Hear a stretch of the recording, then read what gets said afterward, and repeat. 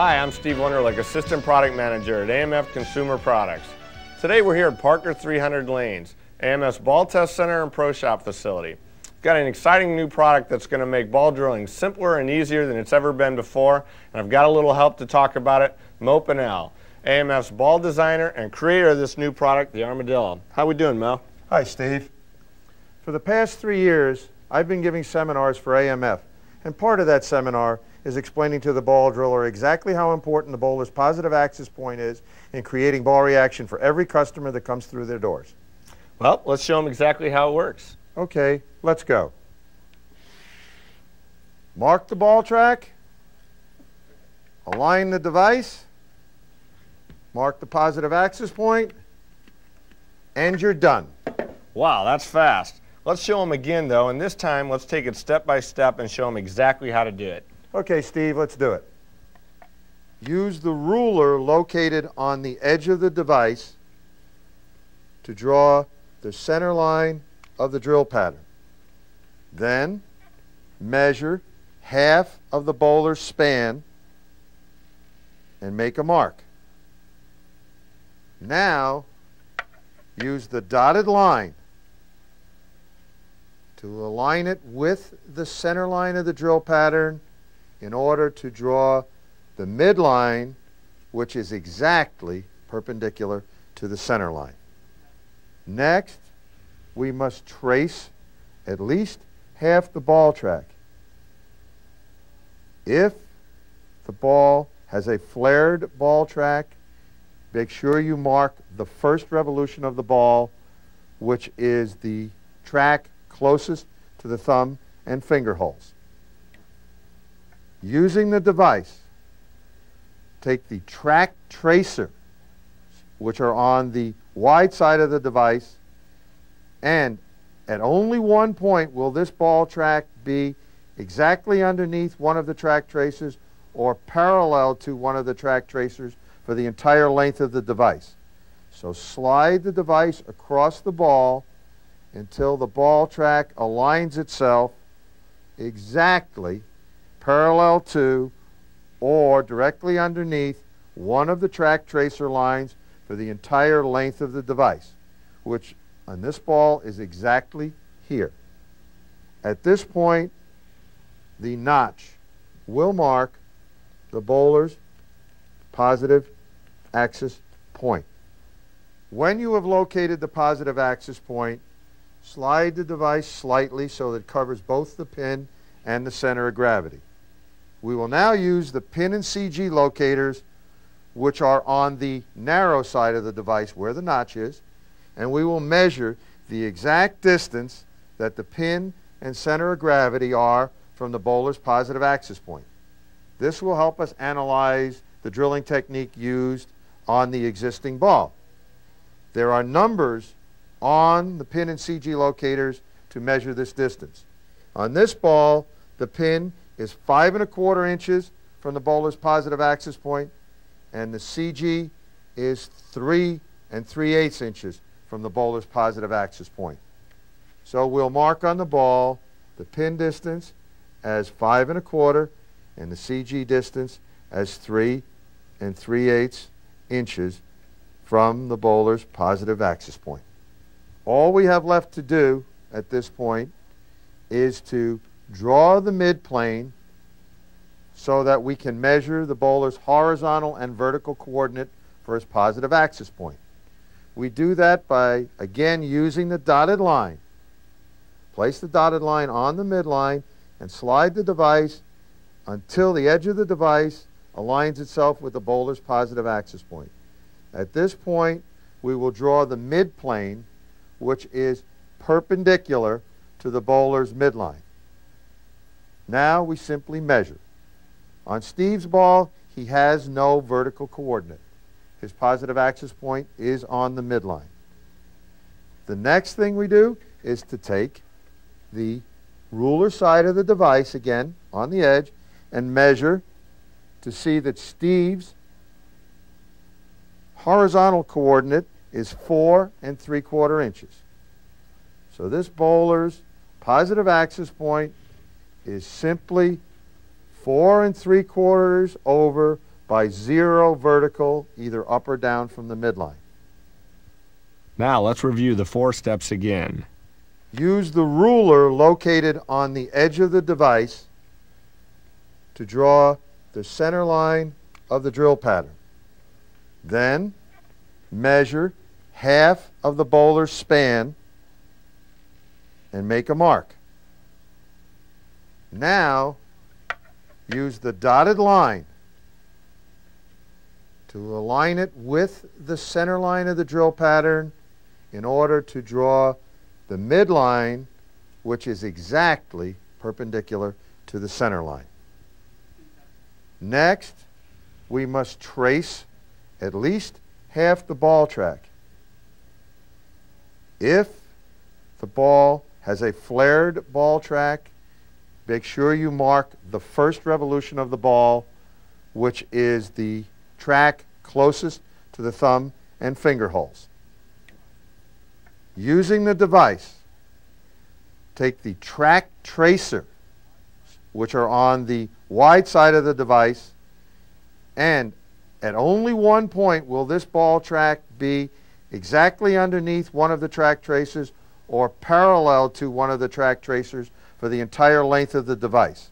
So slide the device across the ball until the ball track aligns itself exactly parallel to or directly underneath one of the track tracer lines for the entire length of the device, which on this ball is exactly here.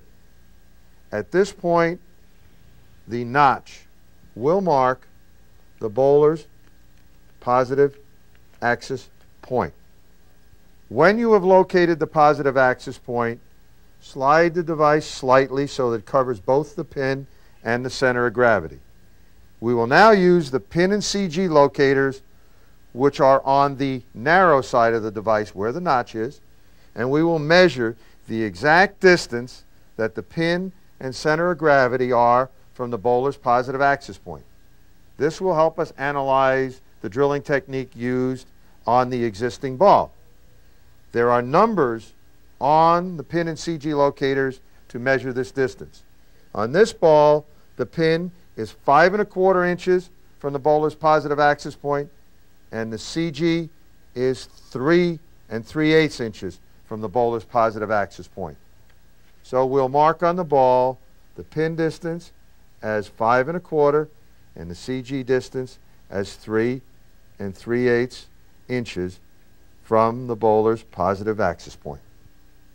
All we have left to do at this point is to draw the midplane so that we can measure the bowler's horizontal and vertical coordinate for his positive axis point.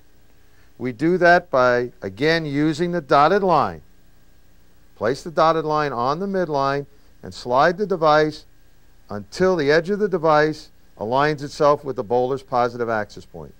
At this point, we will draw the midplane which is perpendicular to the bowler's midline. Now we simply measure. On Steve's ball, he has no vertical coordinate. His positive axis point is on the midline. The next thing we do is to take the ruler side of the device, again, on the edge, and measure to see that Steve's horizontal coordinate is four and three quarter inches. So this bowler's positive axis point is simply four and three quarters over by zero vertical, either up or down from the midline. And this device can do one other thing, Steve. It can be used in weighing a bowling ball. Let me show you how it's done. When the ball's in the scale, the first thing we'll measure with the armadillo is the side weight. Place the armadillo over the ball so that the dotted line on the armadillo lines up with the center line of the grip and the edge of the armadillo touches the scale. At this point, we will balance the ball. In order to weigh the side weight, we rotate the ball 180 degrees using the armadillo to align the dotted line with the center line of the grip and the armadillo with the edge of the scale. Now we will measure the side weight, which in this ball is 5 eighths of an ounce. The next weight we're looking for is the finger or thumb weight. At this point, we rotate the ball 90 degrees, put the dotted line of the armadillo on the midline, put the edge of the armadillo against the scale, rebalance the ball.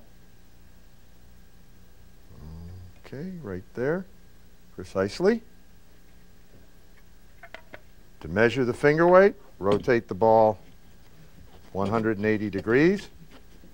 Again, placing the dotted line on the midline and resting the edge of the armadillo against the scale. At this point, we can now weigh the finger weight, which in this ball is one half ounce. The only weight left to get is the top weight, which we will do as always by placing the center of the grip away from the fulcrum of the scale, balancing the ball. Again, we rotate the ball 180 degrees. And now we measure the top weight, which in this case measures one and a half ounces. So, with the aid of the armadillo, we have found the bowler's positive axis point. We have measured how far the pin and the center of gravity are from the positive axis point. In this case, the pin is five and a quarter, and the CG is three and three eighths inches from the positive axis point. We have measured the positive axis point, which in this case is four and three quarters over with no vertical measurement and the ball balances at one and a half ounces of top weight, a half an ounce of finger weight, and five eighths of an ounce of side weight. So the armadillo is used in measuring the entire ball for us. Well, today's professional ball drawer has a lot of decisions to make when creating ball reaction with these new high-tech balls. The first decision he has to make, obviously, is what ball is he going to drill for him. The second decision he must make is how much top weight the ball should have after it's drilled. After that, all the decisions he makes are wrapped around exactly where the bowler's positive axis point is in relationship to parts of the ball. Tell us about that. Well, the track flare will be determined by how far the pin is from the bowler's positive axis point. The amount of hook will be determined by how far the center of gravity is from the bowler's positive axis point. And if they need a weight hole, that will also affect the ball reaction. It depends on whether the weight hole is being placed on the midplane or below the midplane all of which react exactly to the bowler's positive axis point. Exactly. Now, Steve, why don't you show them a few layouts so they can create the exact ball reaction they're looking for for their customers? Sure, Mo, I'd be happy to. As Mo and I travel around the world doing these ball drilling seminars, the most important aspect of the ball drilling that we discuss is pin placement in relationship to the bowler's positive axis point.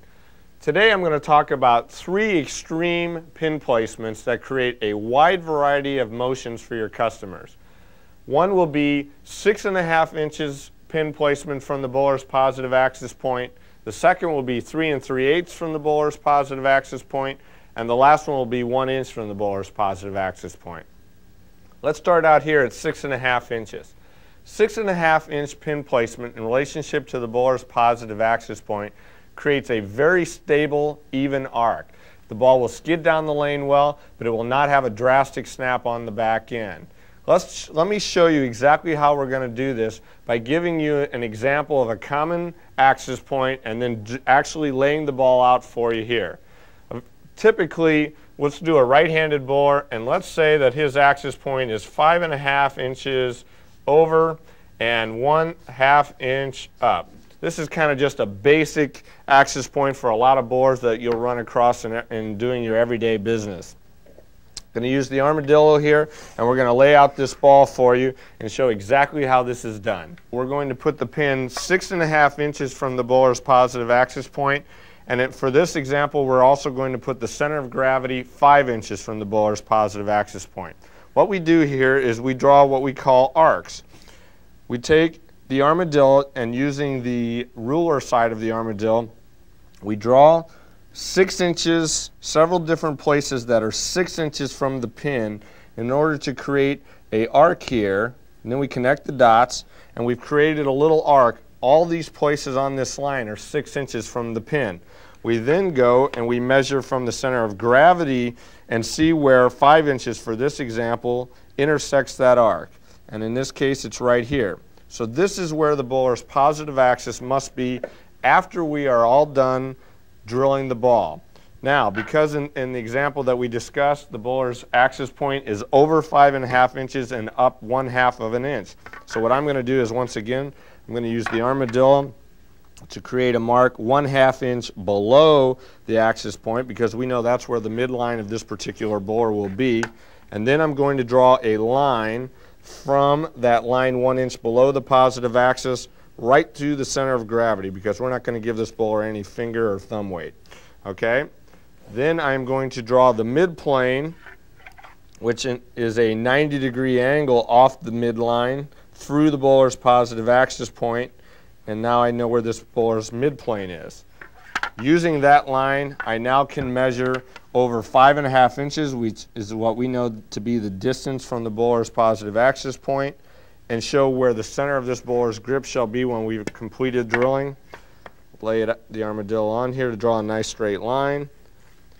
And for this particular bowler that we've laid out this ball, his finger holes are going to go there and his thumb down here. And we've got the pin six and one half inches from the bowler's positive axis point. We've got the center of gravity five inches from the bowler's positive axis point. Because this line falls right next to it, we probably will not need to have an extra hole. So that's the first example of how to lay out a ball using arcs and the armadillo to create the exact motion we need for our customer. The second drilling we're going to show you today is the leverage drilling, placing the pin 3 and 3 eighths inches from the bowler's positive axis point in its maximum reaction position.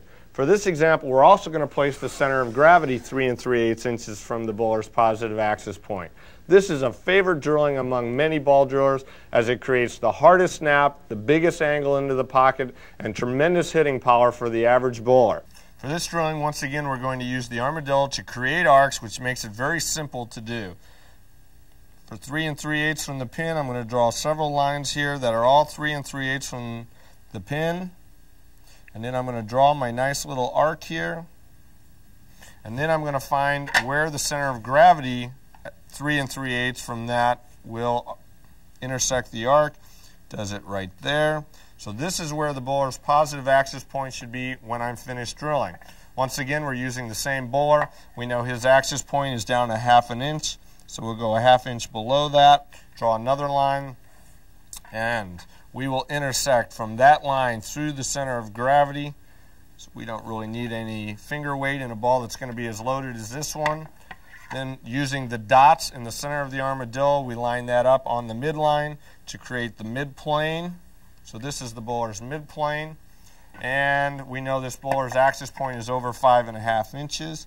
So I put the five and a half of the ruler side right there. I move over, and now I have the center of the bowler's grip. Once again, I flip it upside down and line up the dots again to create my perfectly 90 degree angle.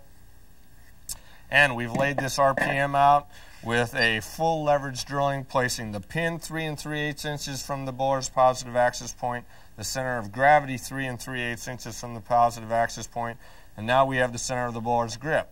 The only decision we will have to make at this point, because the center of gravity is so far from the center of the bowler's grip, it will probably need an extra hole. And the decision will, be, do we want to place the extra hole on the midpoint or do we want to go beyond it? Because this ball is going to be so reactive, I think this one will be just fine for the particular bowler that we're discussing here. The third drilling I'm going to show you today is the one inch pin placement. This particular drilling creates very stable motion and is terrific on heavy oil. Uh, this ball will go into a very early roll. For this example, we're going to use the pin one inch from the positive axis point, but in order to help make the ball flip a little bit on the back end, we're going to place the center of gravity three inches from there. Once again, we're going to use the armadillo to create arcs from the pin and the center of gravity, starting with the pin. Here we go, one, inches, one inch away. Draw a nice little circle around there. Then we find where three inches intersects, it's right here. So this is where the bowler's positive axis point will be after drilling. We know this particular bowler, his axis point is down one half of an inch. Create a line there. And then we draw a line below. So we then turn it around and use the dots on the armadillo to create a 90 degree line, which will be the bowler's midplane. Once again, we know the bowler's axis point is over five and a half. Place five and a half over there. Go back to here. And here we've got the, the center of the bowler's grip. Turn the armadillo 90, 90 degrees. And there's the center of the bowler's grip. Here's where his fingers will go, and here's where his thumb. Once again, we've got a ball here with the center of gravity way away from it, so it's got too much side weight to make it meet ABC specifications, so an extra hole will be required. In this particular example, I'd recommend that we go beyond the midplane on the midline to draw the extra hole, approximately two inches. And so we're going to drill the extra hole right there in order to take the side weight out required to make this ball meet American Bowling Congress specifications. So we have the pin one inch from the bowler's positive axis point, the center of gravity three inches from the bowler's positive axis point, and the extra hole two inches beyond the midplane on the midline. You've now created a very stable, controllable ball motion and a ball that will go into an early roll even in heavy oil. Using these three different patterns that we've talked about today, you can create dramatically different ball reactions for the same exact bowler by placing the pin in the three different positions that we discussed today. You know, we at AMF here have taken tremendous efforts to create the leading technology of today's bowling balls. We think that the new tool that Mo here has created for us is going to help you use that technology simpler and easier. Mo, thanks a lot for your help on explaining this, and I think you've done a terrific job. The Pro Shop guys are going to love the Armadillo.